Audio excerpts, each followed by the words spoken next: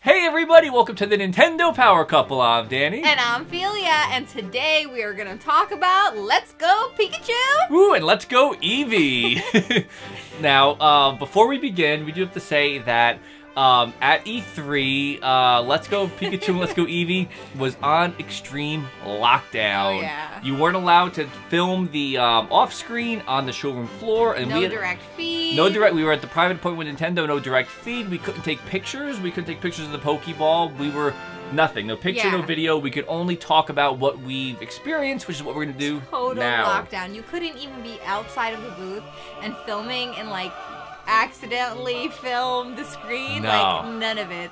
So But before we begin, too, we did get some video of us hanging out with the actual costume Pikachu and Yes. Eevee, which was adorable. And you got to give Pikachu how a dare hug. you say costume? That was the real Pikachu, okay? I hugged the real Pikachu. Pikachu and Eevee, they were so sweet. Uh, we just want to thank real quick too all the Nintendo staff that was on the showroom floor. Uh, they gave us the And Pokeballs, which was really cool. Reps, we really appreciate, and the, everyone was so nice. Yeah. You guys helped us take video and pictures, and gave us a, a couple minutes to like do our little thing. Hang out with the real Pikachu and Eevee. we really appreciate it. Thank you guys so much. So um, let's jump into the game. Um, the demo we got to play was very linear and limited, but it got to kind of show off what the game is going to Yeah, be. basically, I think they were just trying to show you how the um, the catch mechanic works and how um, like battling works. Yes. So basically, uh, we were put into this uh, small little area that Yeah. had like grasslands, um,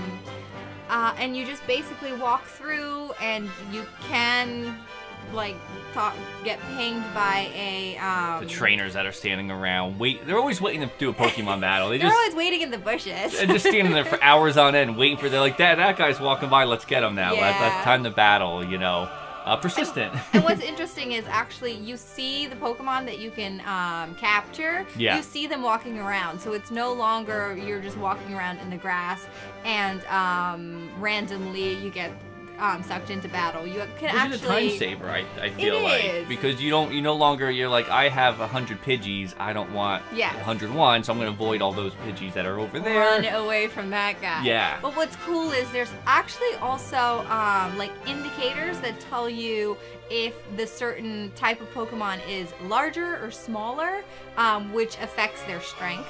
Um, so And I think, it's also like, the um, candy thing too. They wouldn't really they, they wouldn't go into too many details either about what the size of a Pokemon really would would mean, like whether catching a smaller or a larger species, um, uh, the same species would really do. Uh, Yeah, we didn't get too Yeah. many details. we could we weren't even allowed to even see the menus. Like we could not even check out what the menu looked like. Every time we hit, we had, we both accidentally went to the menu. We were told gotta go back, gotta go back. So we had to like quickly, by you know by accident. But, yeah.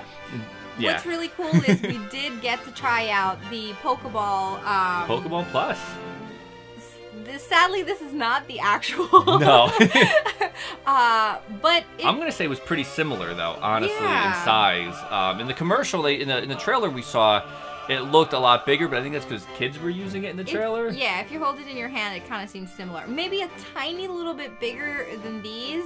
But this um, is a pretty good reference you point. Hold it in your hand like that. Yeah. Um, but yeah, I'd say it's a pretty good reference point. And there is a button on the top. It would be right over here. There would be a button to press.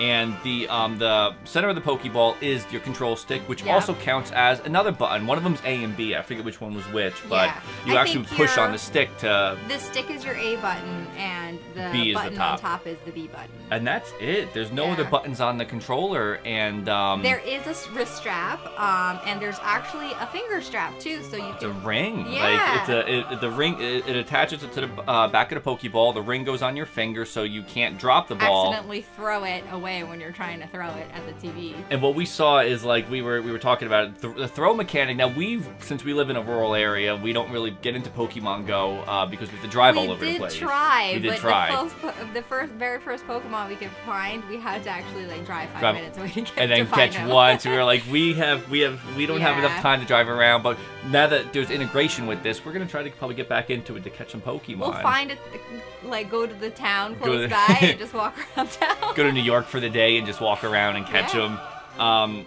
but what was cool um, about the Pokemon Go. Well, I, I felt like the controller, um, for me, felt comfortable. Like it kind of felt cool. I never knew how the, the catch mechanic worked in Pokemon Go with the whole like the reticule thing having to be a certain type to get like the perfect throws. Uh, what we learned was that like you would kind of throw like this, like it was like this, like the way it worked at the time of the demo, which might not be how it is on the final bill, but like we kind of had like you like snap to throw the ball, you know, and that's how yeah, you would you do have to be sort of precise in throwing forward rather than like like throwing sideways because it will actually throw your ball. Yeah, I missed. Uh, Yeah. I missed one. Because a couple times I was trying it, and even if it's not like a quick snap back, I did like try to throw it, and you have to be sort of like facing forward, throwing it forward for it to be Um, accurate. I tried. I think it was a Weedle I tried to catch, and it took me forever because I kept trying to throw regular Pokeballs at him, and it would just even if I got an excellent throw, it, he kept breaking out of the Pokeball. I would throw fruit, he would eat the fruit. I would try, and eventually he ran away, and the rep. The rep that was there said, "He goes, oh, because I haven't seen that yet." And I'm like, "That's not. I don't think that's a record I wanted to set. Was being the first person he saw He to not catch a not catch a Pokemon and run away at a board. And The Pokemon was like, "I'm done. I'm gonna Yeah. go." But um, I did enjoy the catch mechanic, though. I mean, I, I know I kind of, you know, I know everybody's gonna say like they missed uh, battling them down to a certain point, which I do too. But this felt fine though. When when we were playing this, I didn't mind it, you know, and I thought that there And might the be battling system, um, when you're battling other trainers, it felt a lot like Sun and Moon to me. Yeah. So it's pretty much as it should be for the battling. Yeah, Um, it, it's all the handheld. It's all the handheld. It, it plays exactly, thankfully, like yeah. the Pokemon so you guys I think all it's know some, love. some sort of combination between like Pokemon Go and the regular what we expect Yes. for a handheld Pokemon game. Absolutely. Um, it's some sort of hybrid that I think is actually going to be fun. yeah, Um, I'm excited for it. I I'm think- repping. I'm repping Eevee. Yep, and I'm rep- Pikachu, reppin' Pikachu. um, but yeah, Yeah. We um we didn't get much time with it. Like I said, it was very short, very limited. Um, the Pokeball Plus was cool. We did they did have Pikachu in the ball, so they did shake Pikachu around so you could hear him, and it was cool because it, did—it it did sound like Pikachu was actually in the ball. You felt the rumble even when you were catching a Pokemon. You and would feel the rumble. sounds. There's multiple sounds for Pikachu and uh, I'm sure Eevee as well.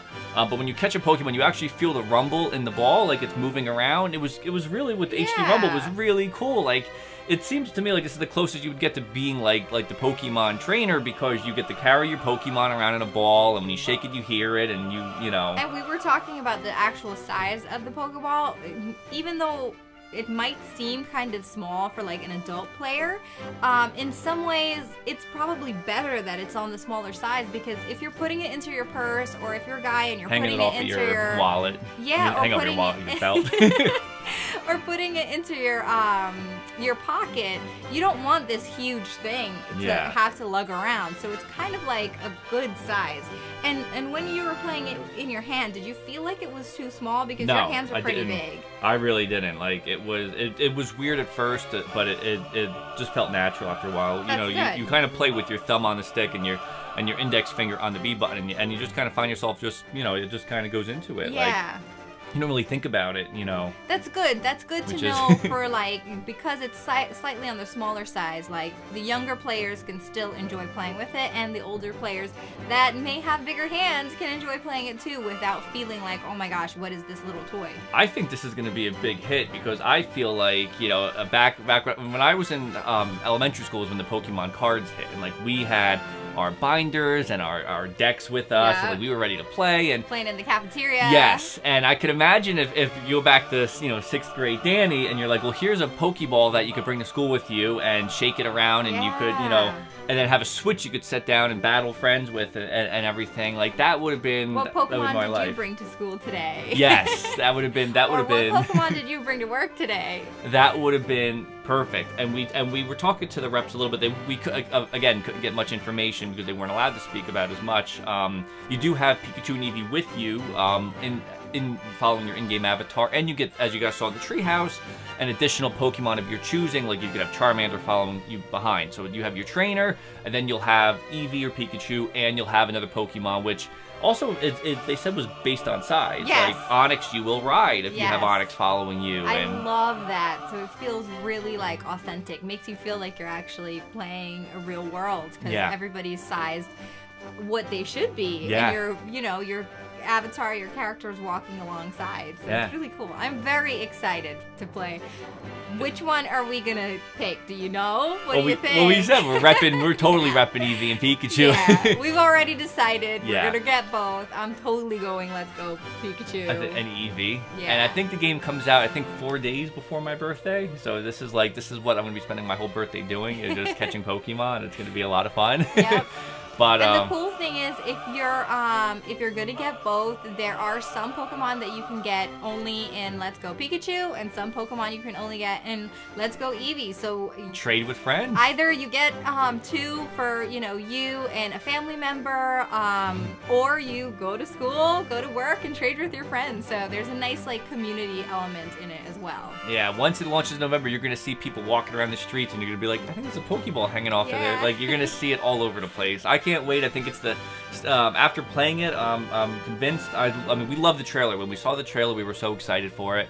Um, wasn't too sure how it worked with the with the catch mechanics, but after hands-on time with Yeah. it, we're sold. Like this is great. I know there's gonna be we're gonna have the full-on sequel RPG Pokemon and you know core series uh, next year Which coming we're out, gonna which be is playing that as well. Yes, but but for the but to kind of hold us over for Yeah. it, going back to Kanto, this is this is I can't wait. And I'm so excited. very excited to have my very own Pokeball. yes, This me too. is so exciting. I'm very curious if like later on they'll make different designs Master of that Ball control. That would be really cool. yeah, or custom. art- We, I Or know there's custom customs artists, out there. You know, shout out to Captain Alex who does all the Joy-Con. I'm sure that this is the Joy-Con you'll see him making some cool customs with. So. Oh my gosh.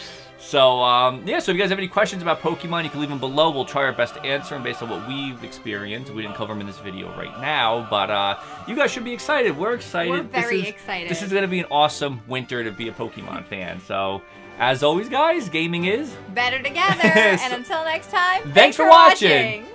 Hey, so if you liked that video, be sure to give it a thumbs up, subscribe to the Nintendo Power Couple YouTube channel, and follow us on social media. And if you want to support our channel, be sure to check out our Patreon or grab yourself some NPC merch. So remember, guys, gaming is always better together. So until next time, thanks, for watching. watching.